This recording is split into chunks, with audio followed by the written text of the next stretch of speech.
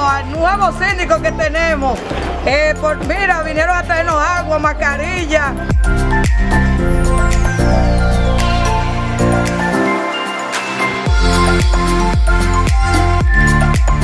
Lo que tiene son tres días que entró.